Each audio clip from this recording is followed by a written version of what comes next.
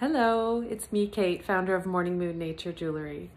I realized I've been sitting on a hack that can help you put your necklace on every time on the first try, and I realized I had to share it with you.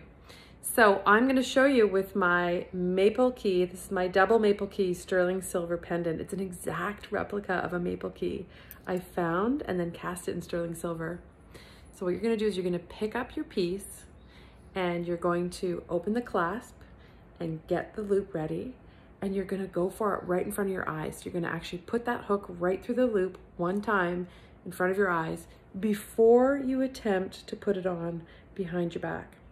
And uh, it's gonna work every time.